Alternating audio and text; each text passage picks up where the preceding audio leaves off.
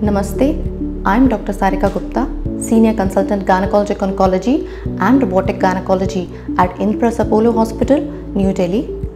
I'm providing specialized care to women having malignant and suspicious malignant lesions of the uterus, cervix, ovary, vagina and vulva. I'm passionate about minimal invasive surgery, especially robotic surgery and fertility sparing surgery for gynecologic tumors.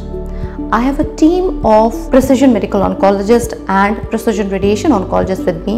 So, in case you need additional chemotherapy or radiation therapy as a part of your treatment, we provide gynecologic oncology services as per the international standards.